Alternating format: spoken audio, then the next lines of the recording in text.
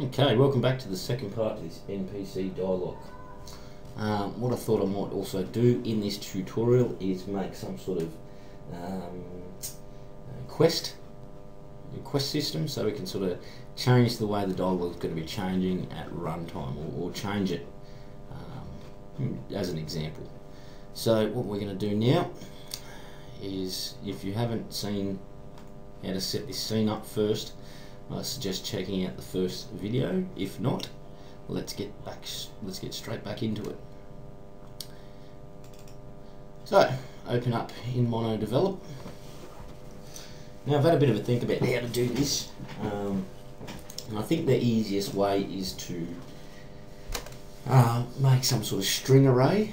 Um, so what we're going to do now is just define a public like public string and we're going to put the array which is just the square brackets and we will call this one what we want is the text displayed on a GUI button um, your answers. So I'll say we might call this answer buttons. Answer buttons uh, we're going to want another public string, array type again, and we might just call this uh, questions. Right, now, what we're going to do is create a void on oh, trigger, enter. Just follow along. I'll be typing pretty type, uh, quick. I want to try and keep this one tutorial in the 10 minutes. So, um, and what we're going to want, we've got an on trigger enter, so we're going to want a void on trigger will exit. On trigger exit. Now, when we collide with the trigger and we enter the trigger, we're going to want some sort of bool to say, well, you know, display dialogue. Um, so what we'll do is we'll create a bool and we'll call this one display dialogue. And we'll set that one to false to start with. So, we don't need to worry about start or update. I personally don't delete them because I think um, I'll use them later on, which most of the time I do. But what we are going to want is a void on GUI. Okay, so I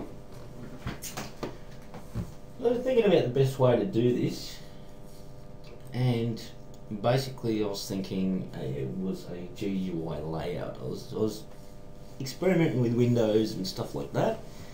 But I think for just what we're going to want is just GUI layout. Just to display the text for the questions, um, and then obviously the buttons will come in through that layout bit later on. Which, so now what we're going to do is just save this script, head back on into Unity, and down here, because we've made those variables public, we should have two strings. This, I don't need that big. So, we'll have probably three buttons to start with. And at the same time, we'll have three questions.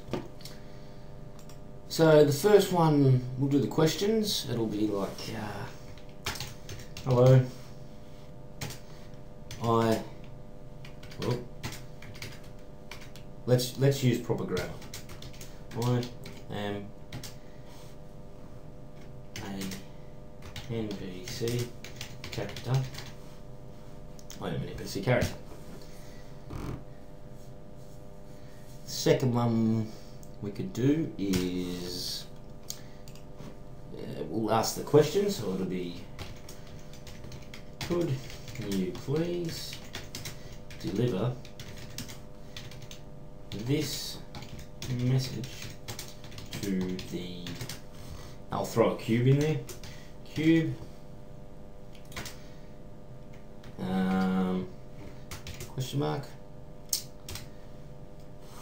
And what add a little fuck in there because I have no legs. And the third one will be mm, thank you. For oh, oh, oh, this message.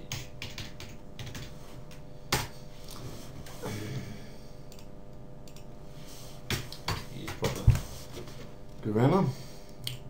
So, first one's hello, I'm an NPC character. Second one is could you please deliver this message to the cube because I have no legs. And the third one is thank you for delivering the message. So our buttons will be, um, we could be, I would love to uh, deliver the message. Second one we could be, no way,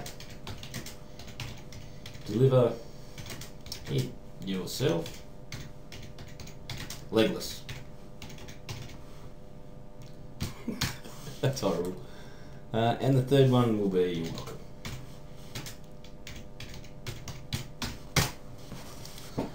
Now you can write this string, or you can write this string out to be thirty if you want.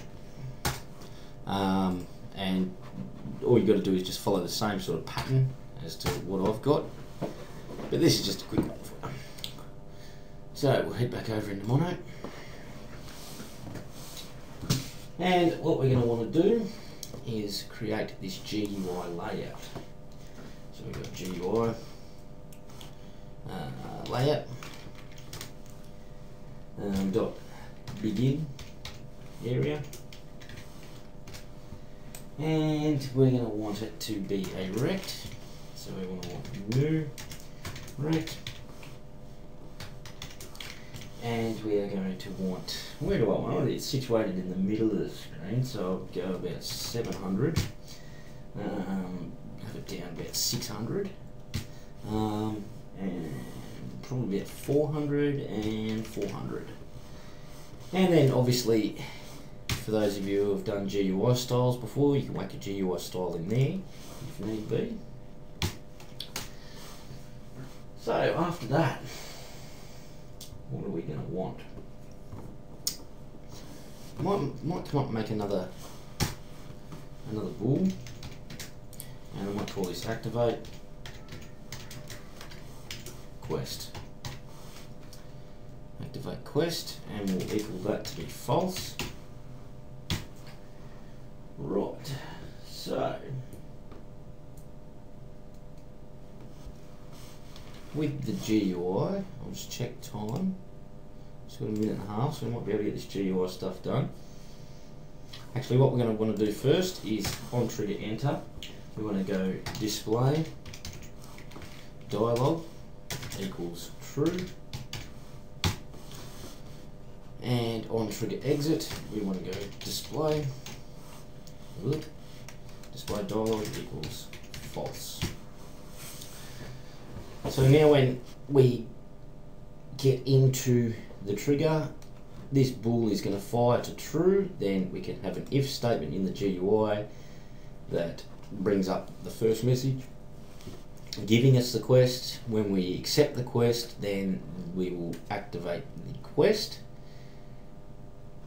and then we're laughing. So what I'll do now is I'll stop this video here and we, oh, hang on, I'll check how much time we got, nine minutes. I'll stop it here and I'll start another one part three, um, and we'll finish this off. All right, thanks.